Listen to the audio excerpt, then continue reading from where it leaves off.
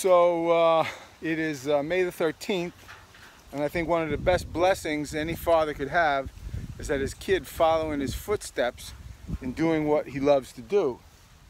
And so it's uh, about 7 o'clock, and we were walking the line, and uh, we came across a female who we didn't even know was, was gravid, or at least that close to laying.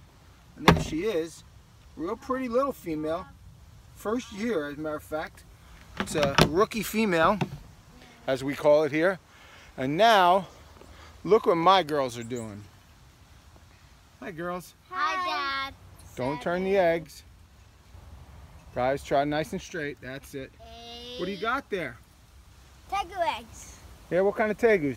Chacoan whiteheads. Cone whiteheads, huh? They look like a good batch of eggs.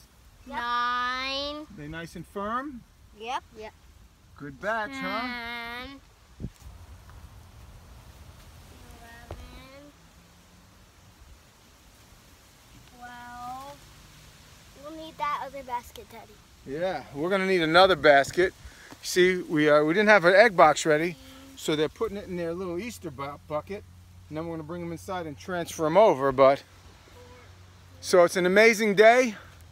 We are blessed beyond belief, and my girls are Tegu girls. God is good.